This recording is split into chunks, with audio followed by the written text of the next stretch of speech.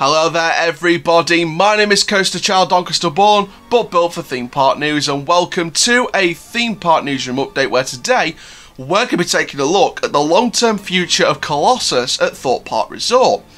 So I've got the site via Google Earth, I'm going to share with you some stats for the ride for those of you who are new to the channel and have no idea what Colossus is. I'm also going to share with you three potential coaster replacements and also share with you a timeline of where I think Colossus could be removed from the park. So before we get started, please like, comment, subscribe, click the notification bell so you never miss a YouTube video. Please share with your friends, your family, and on social media. And make sure you keep getting your questions in as well as your shout outs and video suggestions. Use the hashtag question before or after your question. And this is of course for our subscriber Q&A for when we celebrate 2,000 subscribers. And for now guys, let's get into another Theme Park Newsroom update. So for those of you who are new to the channel, let's give you some stats on the Power of 10 Colossus at Thorpe Park Resort. So for those of you who need specifics, this is an Intamin multi-inversion coaster. It's a 10 inversion Rev A model. Uh, so for those of you uh, who are uh, unfamiliar with this type of coaster, there are two versions of the Rev A. There is the 10 inversion coaster at Chimelong Paradise uh, in China, in Guangdong, China, which opened on, in 2006, so two years after Colossus. Uh, and basically, for those of you who need the stats on this ride, it has a length of 2,788.7 feet. It also has a height of 98.4 feet, a speed of 60, uh, 44.7 miles per hour, 10 inversions in a 1 minute 2 duration. Uh, it has a capacity of 1,300 riders per hour, uh, and it was also designed by Ing Burr Stengel GmbH, who are a coaster designer. So, uh, very nice stuff for you there. So, Colossus very much is the coaster at Thorpe Park. It was the coaster that um, really made Thorpe Park a thrill park. So, for those of you who don't know where this is located, this is located in the Lost City section of the park. Uh, this replaced an old uh, playground called Trapper's Trail. Uh, so this was part of the old, you know, when Thorpe Park was a family park when it opened, when it first opened, and then up to around about 1999, 2000, uh, and then it changed its branding. It went into the the sensory overload stuff with the flat rides package in 2001 with Detonator replacing the, uh, you know, burnt down Wicked Witch's Haunt Dark ride after the Thorpe Park fire. And I may actually do a separate video on the Thorpe Park fire for those of you who want to know more about that. Um, they also brought in a temporary enterprise, which made it permanent in 2001, uh, which was known as Zodiac. They brought in a temporary enterprise for 2000 to add to their ride lineup after the fire, uh, and then they decided to bring it in permanently, and they brought in Zodiac in 2001 in a new location. And as well as that, they also brought in Vortex, the KMG Afterburner for 2001. So three flat rides for 2001. However, the thrills didn't stop there.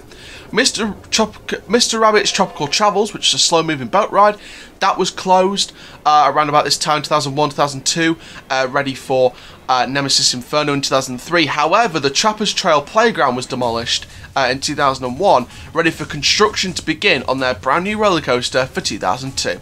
This was Colossus at Thorpe Park Resort.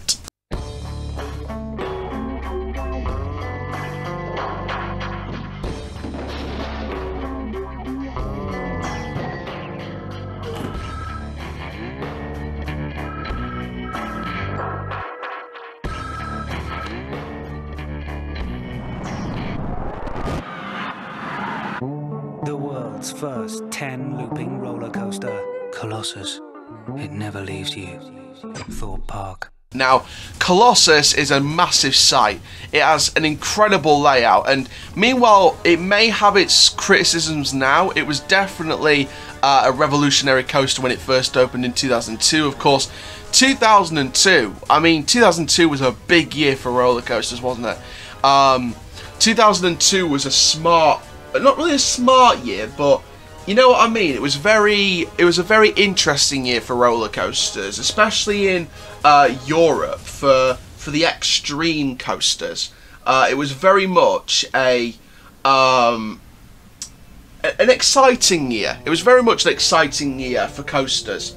Uh, so it was definitely a revolutionary year for coasters as well. Uh, so in terms of your extreme coasters in Europe for the 2002 season, along with Colossus, uh, picking out some of the more regular ones, you've got uh, Bat Coaster, which was now relocated at Nigloland. Uh, you've also got Batman Arkham Express, uh, Coaster Express, uh, Stuntfall, and Superman La Atracción de Acero at Parque Warner Madrid. You've got Silver Star at Europa Park, Rock and Roller Coaster at Disneyland. Uh, you got Goliath at Walibi Holland. You got Air at Alton Towers, and of course Colossus uh, at Thorpe Park. So very recognisable roller coasters. Now, obviously, um, the future of that site is into question. So we're going to be talking about three coaster types that I could see replace Colossus in the long-term future. So starting off with option one, and I've gone with a B&M dive coaster. Now Thorpe Park apparently have wanted to add a B&M dive coaster for a while. Now I did see this on a cancelled Thorpe Park project talk about a dive coaster. I'm not sure exactly what was said, um, but there, were, there was talk of a dive coaster. Um, however, I think they could resurge those plans and I th- oh, those rumored plans, and I think they could add a dive coaster in the Colossus site. Now, they can completely redo that whole section of Lost City, and I think that they could, you know, rebuild and repair some of the theming. And I think that this particular coaster could be a very welcome fit for the park. Now, obviously, it would be a different layout to seeing Colossus in, in in that particular area. Um, you look at the where the airtime hill's going into the cobra rolls and out of the cobra rolls and then into the corkscrew at the end of that cobra roll, um, like the little duck down under the tunnel. Um, that's a pretty neat, you know, that's a well, it's a pretty neat way of potentially doing a dive coaster drop. And I think you could, you know, you could literally go the same way as Colossus went in terms of the the lift hill, and you could really, you know, just just go for it. Just literally do a nice lift hill out of where Corkscrew's lift hill is, turn it round where the first drop is, and you could literally do a nice uh, drop underneath the pathway. You could even do a loop over the pathway. You could do the world's tallest dive coaster loop. So you could break some records with this coaster. And like I said with the theming, um, obviously, it's been jet washed over this past close season, but I think you could rebuild some of that theming, and I think you could make the tunnel look really, really nice. And I think they could give this a nice uh, Lost City themed story. Unless wants to, you know, retheme the area in some way. Maybe not a large way, give it a whole new theme, but maybe keep the Lost City name and just bring in a new story to the area just to give the area a new lease of life with the new coaster.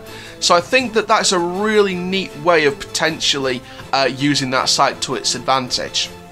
Moving in then to our next coaster type, and my next coaster type for this is an RMC extended Raptor coaster. Now, I know what you're all thinking, capacity.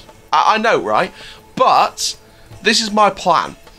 What if you had a the world's tallest, longest, fastest, most inverting single rail coaster, but the trains and the Raptor track were bigger. So this is what I mean by an extended Raptor coaster. This would be an extension to the Raptor coaster and it would be the biggest version of the Raptor coaster. So you'd have more capacity like a normal coaster would. You look at Colossus, you've got like, what, 10 cars per train? Um, and it's two people per train. Uh, I think you could um, do a real, well, four people per train technically, but two on each row. But I think you could do a nice two people per car and then do a row, you know, a row each with two people. So I think you could really make a nice Raptor train here. Now, whether that means four people per car in each train, uh, or you do two people on a row, then two people on the next row, then two on the next row, and two, two, two, two, two, two, two, uh, that kind of thing. Um, I think that would be nice. It would be brilliant if you could have the world's first 10 inverting Raptor coaster, which would be nice. I think that would be a, a great way to honour the memory of Colossus, but also think of the future of roller coasters. Uh, so it's a very neat way of you know paying homage to Colossus, but also moving forward in the next generation with the uh, with the Raptor Coaster track. And like I said with the Raptor Coaster track, make it bigger, make, make bigger single rails, so you could pack the more cars in, and you could pack in more elements. So. I think that there's a real potential here that RMC could bulk up their Raptor and just times it by 10.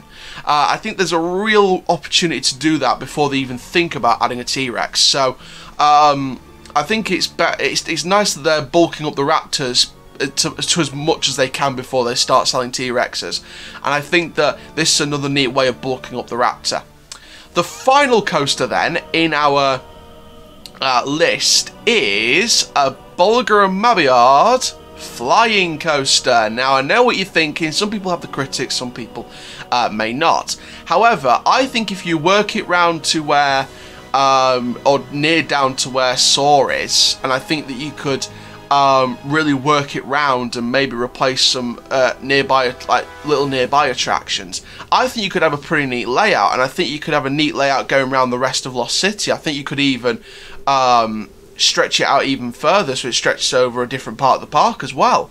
Uh, so I think that there's real potential with the B&M Flyer. It's very, very less likely in my opinion.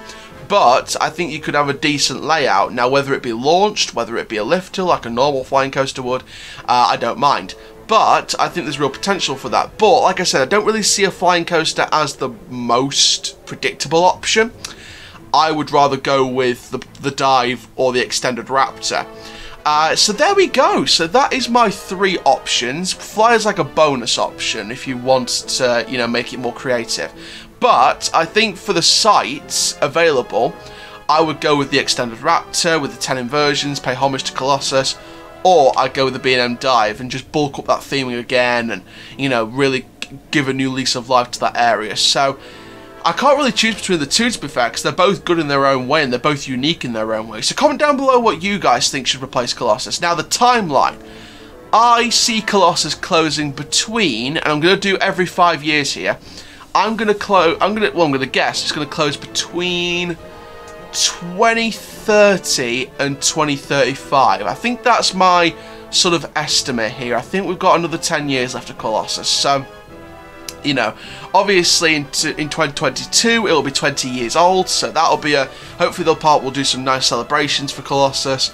Um, and it should be very nice. It should be interesting. So I think between 2030 and 2035, maybe uh, because I think technology will have moved on a whole heck of a lot by that point. So I think that's what we're looking at here. So there we go. So thank you very much guys for watching this video on the long-term future of Colossus at Thorpe Park. I do plan to do these for other rides as well in the UK, in Europe, in America, all these other rides. So Thank you very much, guys. My name is Coaster Chall. Please like, comment, subscribe. Could notification bell so never miss YouTube video. Keep getting any questions. Use the hashtag question before or after your question. Make sure you subscribe to my second channel for football and basketball content. Links in the description down below for that.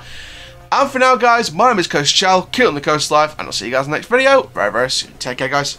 Have.